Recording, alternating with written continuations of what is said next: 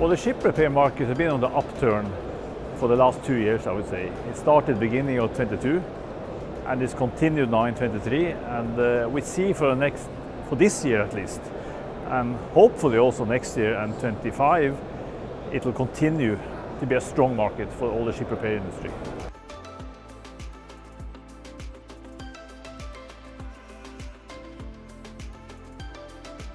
Well, we actually service all everything as floating, everything from offshore vessels to the merchant vessels, uh, but also naval vessels, like for various naval uh, naval uh, naval fleets for various countries.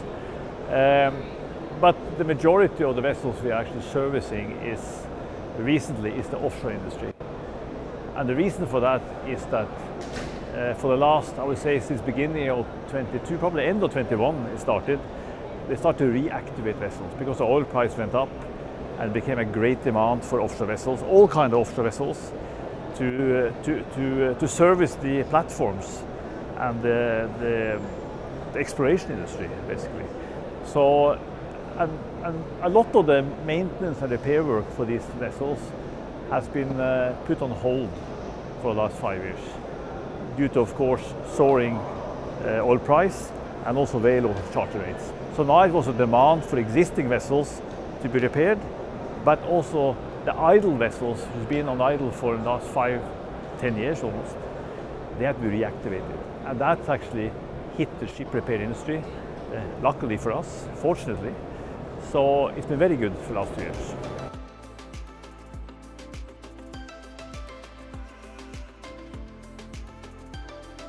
I think the important there is that we as a repair industry shows predictability to the customer. Because the customers are very often, they have to release the vessels from the charters and that's very difficult sometimes. So we need to show that we have capacity to do the work on short notice. That's not only the ship repair company, but also the docking facility. We have to show ample capacity so that we can actually serve them quickly and we have to do it in a predictable turnaround time. For them it's important that the, when the vessel comes to us, it has to go out quickly, not keep the vessel as long as you can and make the most money out of it, that's not the issue.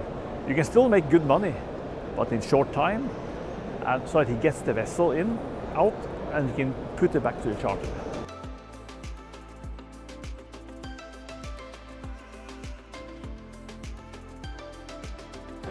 Well, something I'm, I'm missing with the maritime industry compared to other industries is the green technology.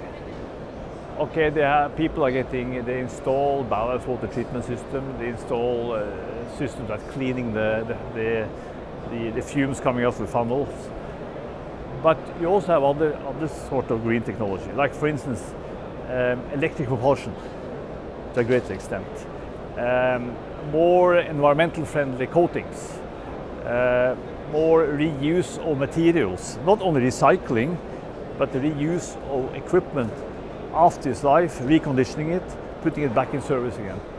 I think the maritime industry could be better at that compared to other industries in the world.